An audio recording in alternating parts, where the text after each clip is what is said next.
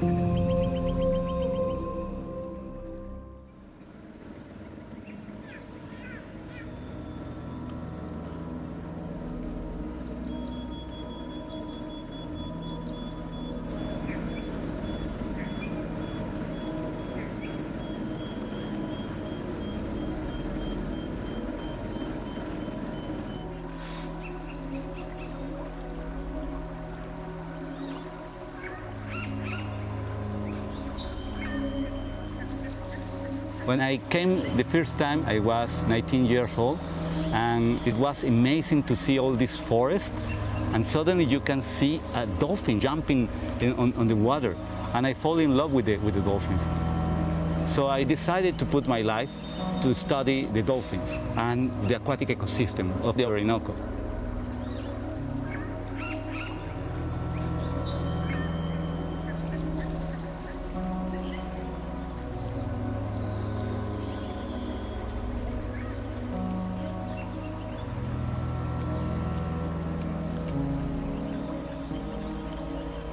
This trembling of the air, this solitude, this wild expanse of the river transports the traveler into adventurous nature.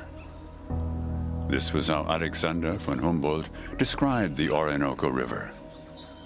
On his research expedition, he spent two and a half months following the mighty waterway, documenting its every twist and turn.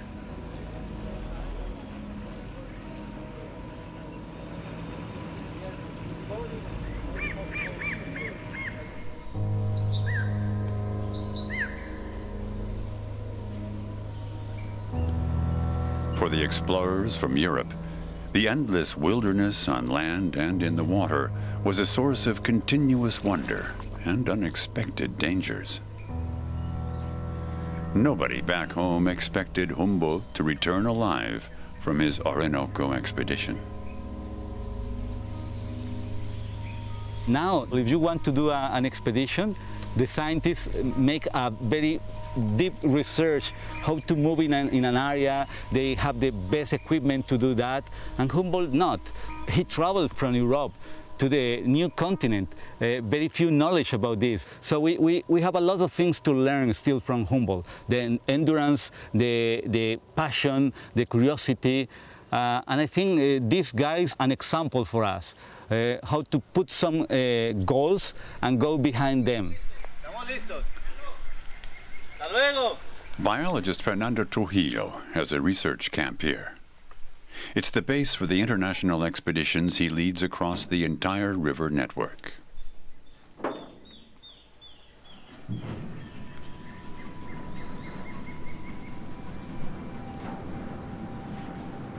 Covering an area of almost 1 million square kilometers, the Orinoco Basin is one of the largest ecosystems in South America.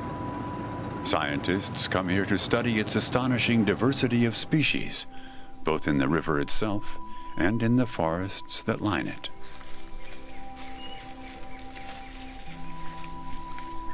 The basin area is home to 250 different species of mammals and over 100 reptiles. Finding the animals is no easy task for the researchers. Many of the creatures are nocturnal and move territory several times a year. Baker Castaneda Baron grew up here by the Orinoco. He sets up cameras in the forest, fitted with motion sensors that help to study the behavior of the animals over a period of months. We can install these camera traps at various heights. This camera records everything that happens here up to a height of 40 or 50 centimeters. It enables us to record larger animals such as jaguars, tapirs, and capybaras. We'll now leave the camera here for at least three months.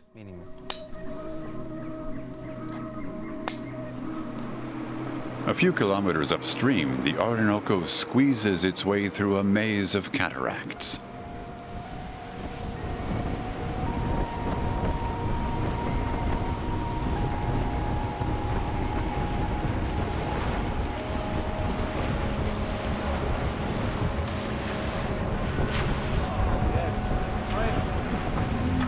The Atures Rapids are an ecosystem in their own right.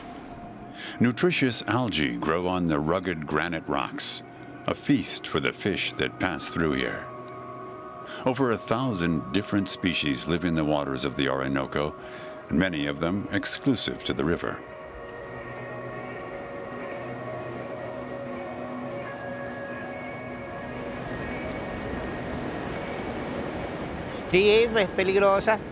This place is dangerous. If you don't know the river, you could overturn and drown in the rapids. A young man drowned over there recently.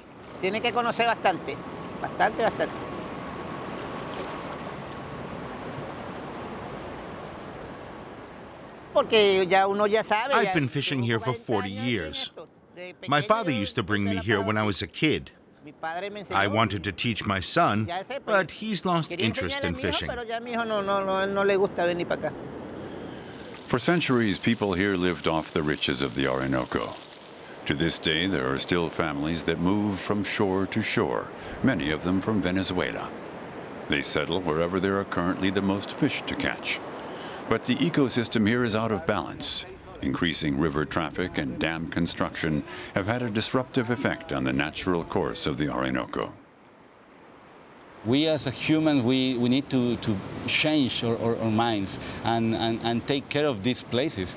The rivers are unprotected in most uh, countries.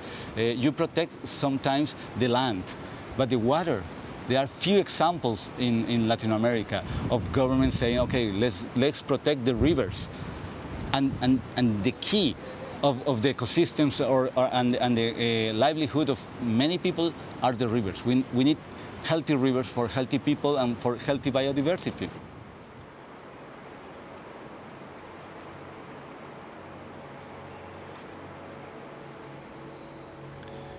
Increasingly, human activities are encroaching on the river's ecosystems. This prompted Fernando Trujillo to buy land here a few years ago and turn it into a reserve.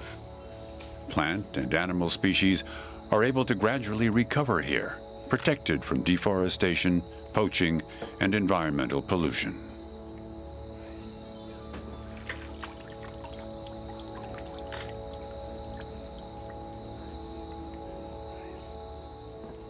This is a, a long neck uh, turtle, so uh, it camouflages uh, very well uh, with the lips on the bottom. It's a big mouth, and this is the nose. So they can stay for a lot of time underwater in a very shallow water, and they put the, the head and with the snout just breath, and then still underwater looking for the, the prey.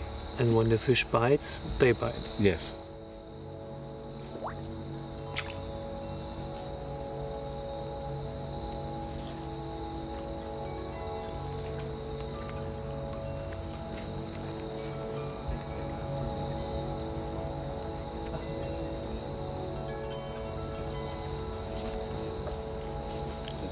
Extensive conservation zones help to ensure that a growing number of animals return to the riverside areas, as footage from the camera traps confirms.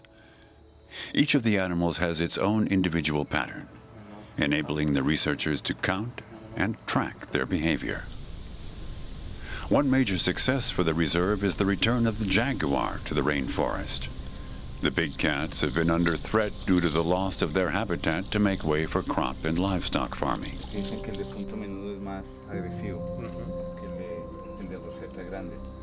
And they are not the only species to have found a new home in the reserve.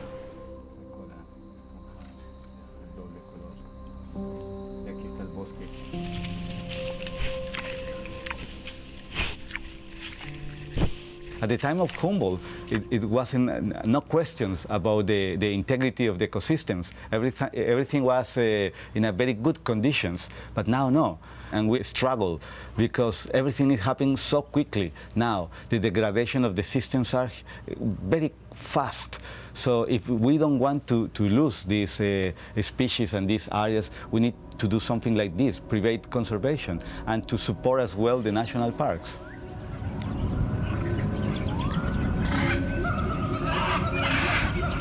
The cacophony of animal sounds on the Orinoco led to sleepless nights for Humboldt, but also to a pioneering concept. the animal world faces a constant struggle in which species numbers are constrained by mutual competition. Now, more than two centuries later, their equilibrium has been disturbed. The animal's biggest enemy today is a two-legged species.